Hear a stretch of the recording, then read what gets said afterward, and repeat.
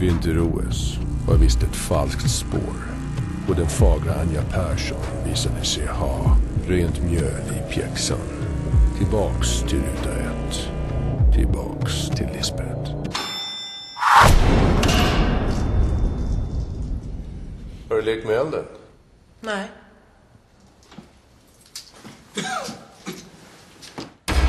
Efter att du gick började jag göra lite efterforskningar på egen hand. Jag la upp en kalkyl över vilka som eventuellt skulle kunna stötas av den musik som spelas i programmet.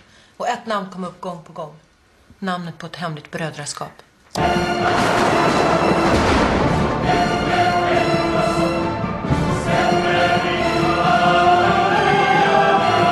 Hörni, hörni.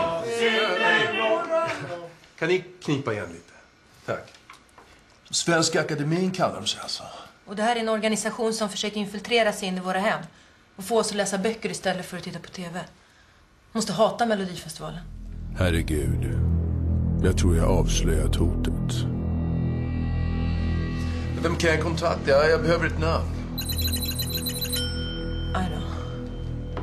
Jag vet inte hur jag ska säga det här. Va- vadå? Horace. Horti. Horge. Horace. Nej, nej, nej. nej. nej, nej. Uh, Hores. Hores. Horge. Horos! Ja, Horos! Capiche! Där har vi det. Jag tror den här Horage Engdahl väntar ett besök för mig. Tack, Lisbeth.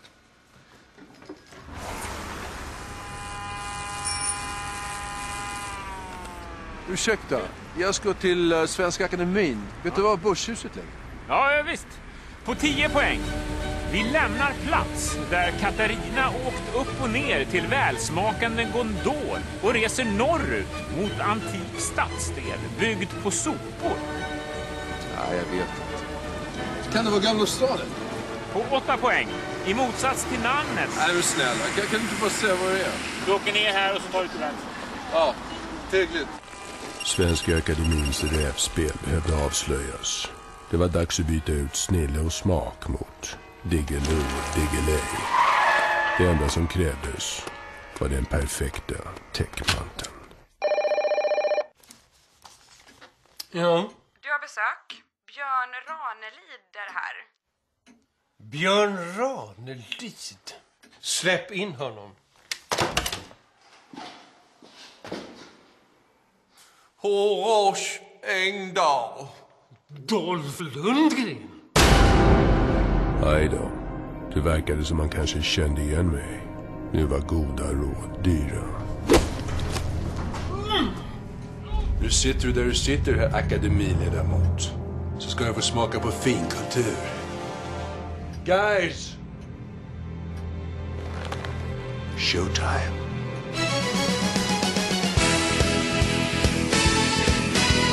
Bortom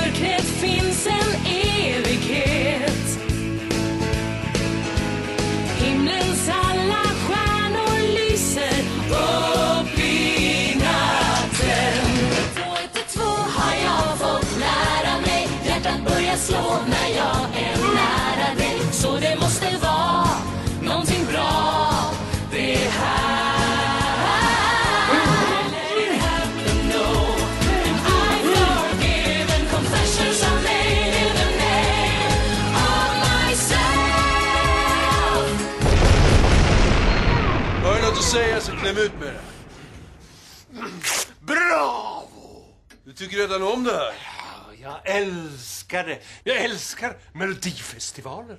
Det gör vi alla här på akademin. En gång till!